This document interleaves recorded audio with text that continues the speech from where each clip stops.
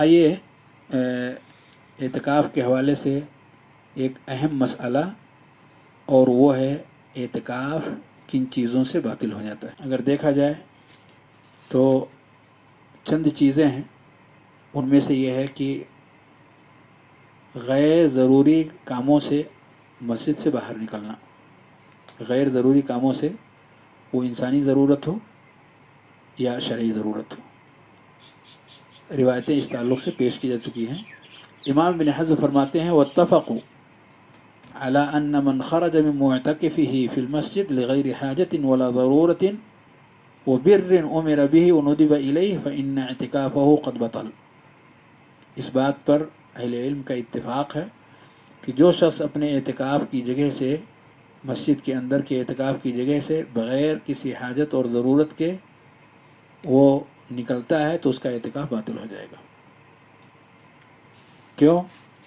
बिला ज़रूरत निकलने का माना यह है कि जो अहम मकसद है एतकाफ़ का, मस्जिद के अंदर ठहरना और रुकना, वो फौत हो गया।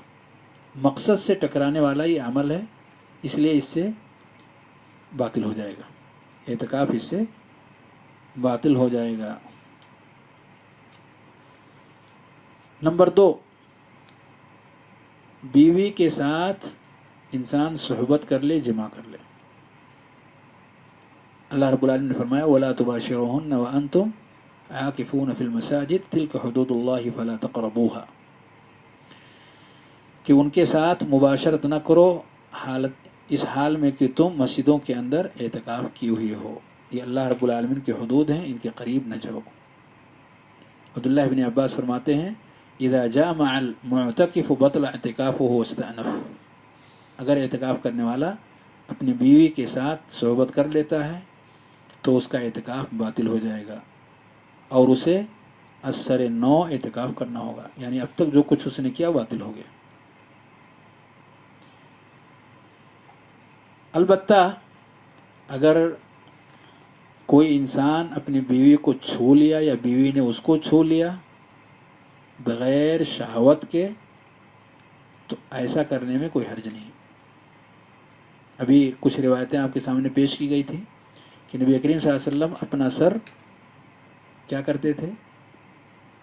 मस्जिद से घर की तरफ़ मायल कर देते, उधर झुका देते और हज़रत आयशा आपके सर में कंघी करती, उसे धुलती और उस हालत में और से धुल देती हैं इस हालत में कि आप एहतिकाफ में होते तो बीवी का शौहर के सर को छूने में कोई हरज नहीं। इससे मालूम हुआ कि एक दूसरे को छू लेने से एहतिकाफ बातिल नहीं हो, शर्त यह है कि वो शहवत से ना हो। क्योंकि ऐसी हालत में अंदेशा है कि इंसान इससे बड़े मामले की तरफ़ मुंतकिल हो जाए। और हराम की तरफ़ जो ले जाने वाला, ले जाने वाली चीज़ें होती हैं, वो भी हराम और नजायज़ होती हैं। लेकिन अगर हालत एतकाफ़ में कोई शख्स बीवी के साथ ऐसा कुछ कर बैठे तो उसका एतकाफ़ क्या हो जाएगा? बातिल हो जाएगा। लेकिन क्या उसको कफ़ारा भी देना पड़ेगा? ऐसा कुछ नहीं है। कफ़ारे की कोई बात नहीं है। क्योंकि एतकाफ़ मसनून है, वाजिब नहीं है।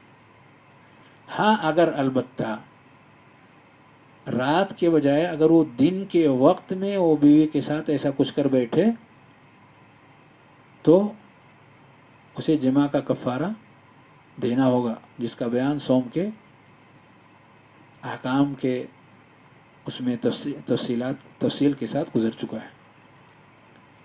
तो उसे कज़ा भी करनी होगी, कफ़ारा भी देना होगा।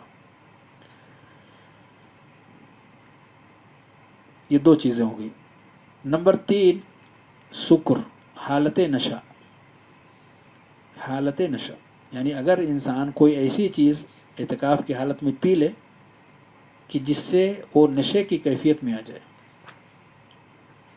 तो उसका एतकाफ़ फासिद हो जाएगा। क्योंकि उसकी हालत गोया कि ऐसी हो गई जैसे कि वो मस्जिद से निकल चुका हो। हालत शुक्र में इंसान अक्ल से पैदल होता।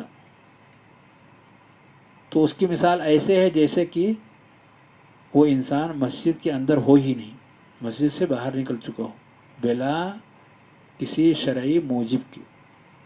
बिला किसी इंसानी हजत के। तो बाहर निकलने वाले जैसे शख्स की उसकी मिसाल है। और अल्लाह रब्बुल आलमीन ने कुरान में फरमाया, या अल्लज़ीना आमनु, ला तक़रबुस्सलात व अंतुम सुकारा. कि हालत नशा में तुम नमाज़ के करीब न जाओ। मना कर दिया अल्लाह रब्बुल आलमीन ने। तो नमाज़ के करीब जाने से जब अल्लाह रब्बुल आलमीन ने हालत शुक्र में मना किया तो नमाज़ जहाँ अदा की जा रही है, वहाँ से बदरज औला उसको मना कर दिया जाएगा। और ये मस्जिद से निकलने से ज़्यादा ख़तरनाक है, क्योंकि इस हालत में उसका अक्ल जो बतौर शर्त के एतकाफ़ के लिए बतौर शर्त के ज़िक्र किया गया है, वो पूरे तौर पर उससे दूर हो जाती है ख़त्म हो जाती है। यानी उसके अंदर अक्ल नाम की चीज़ ही बाकी नहीं रहती। इसी तरीके से अगर कोई शख्स बीवी के साथ सोहबत तो नहीं किया, लेकिन अज खुद उसने कुछ ऐसा अमल किया कि जिससे मनी का खरूज हो गया। मनी खारिज हो गया। बीवी के बगैर। तो इससे भी उसका एहतिकाफ फासिद हो जाएगा। हाँ अगर एहतलाम उसे होकर हो गया। उसके अमल का उसके अंदर कोई दखल नहीं है। हालत नोम में सोया हुआ है। तो वो उसके एहतिकाफ और उसके सियाम किसी भी चीज़ पर वो असरअंदाज नहीं होगी। क्योंकि इस हालत में सोए हुए शख्स के ऊपर से कलम अल्लाह रब्बुल आलमीन ने उठा लिया है। पांचवी चीज़ है दीन इस्लाम से मुर्तद हो जाना। दीन इस्लाम से मुर्तद हो जाना। दीन इस्लाम से मुर्तद हो जाने की वजह से इस्लाम के अंदर जो कुछ भी उसने खैर का काम किया हुआ है, वो सब बातिल हो जाएगा। अल्लाह रब्बुल ने फरमाया, लाइन अशरकता लयहबतन अमलुक। लाइन अशरकता लयहबतन अमलुक। अगर तुम शिरक करोगे तो तुम्हारा सारा का सारा अमल बातिल हो जाएगा। एक जगह अल्लाह आलमीन ने फरमाया, वमन यर्तदिद मिनकुम अन दीनिही, फयमुत वहुव काफिर, फउलाइका हबतत अमालुहुम फिद दुनिया वल आखिरह और अपने दीन से जो शख्स फिर जाए और कुफ्र की हालत में उसकी मौत आ जाए तो ये वो लोग हैं जिनके अमाल को दुनिया और आखिरत में अल्लाह ने बेकार कर दिया अकारत और ज़ाय हो गया। यानी उस दीन इस्लाम की हालत में किए गए काम सारे के सारे उसके बातिल हो जाएँगे। उन्हीं में से एक एहतिकाब भी है। तो ये भी बातिल हो जाएगा। नंबर छः एतकाफ़ के इरादे को तोड़ देना। एतकाफ़ के इरादे को तोड़ देना। इंसान के ऊपर ऐसी हालत आती है कि वो एहतिकाफ़ का इरादा ख़त्म कर दे रहा है। मैं सोचता हूँ कि अब एहतिकाफ़ ना करो। थक गया। और इस तौर पर इस इरादे से वो आगे बढ़ने लगता है।